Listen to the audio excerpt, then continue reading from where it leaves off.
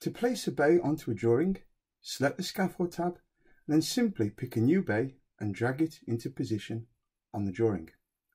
To make sure the bay is in the correct distance to the wall, we can drop on a dimension and then move the bay into position by either dragging it or using the cursor arrows on the keyboard. Remember, the further you zoom into the drawing, the more accurate this movement will be. There are several ways to edit a bay, and further in-depth information can be found regarding these in the Editing Bays video. Remember, before you can edit a bay, you must make sure it's selected. When a bay is selected, it will appear in yellow in the conceptual view.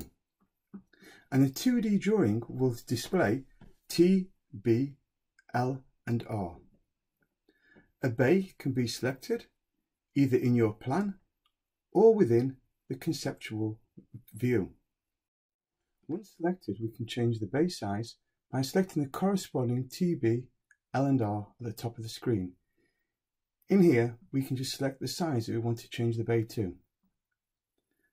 To delete a bay, select the bay and hit the Delete Bays button. You can pre-select a bay size by selecting them first in the top screen and then by dragging the bay back onto the screen again. If we want to add another level to the scaffold, we can go down to Bay Level Editor and hit the Add Level. In this case, we'll add two more levels. Also within this dialog, you can change individual components on each level of the bay. Up at the top of the screen, you will see side settings. Within here, we could turn off, say, the guardrails and the toe boards on the B side, and this will affect every level of that bay. The next button, the bay details. In here, we can do so many things, from change the number of guardrails to type of material used for the toe boards and for the planks. We can also set a top elevation for suspender scaffold and ground elevations and jack heights. In the sides we can turn the entire side off. We can also tell it the material to use for the ledges and the guardrails. In the verticals we can turn the entire vertical on and off and also tell it what header type we want to use and the type of base we want to use, for, for example a screw jack or a caster.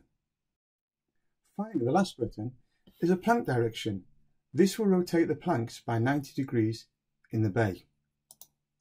To copy a bay, we can press Ctrl on the keyboard and then holding the bay down with your mouse, you can drag it to one side like we did with the walls earlier on. Another way to copy the bays is to select the bay and then the side you want to copy to and use Add Bay to Side.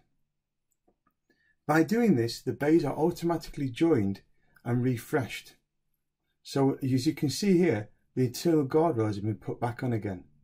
To turn them off, select both bays, into side settings and turn off the guardrails and toe boards.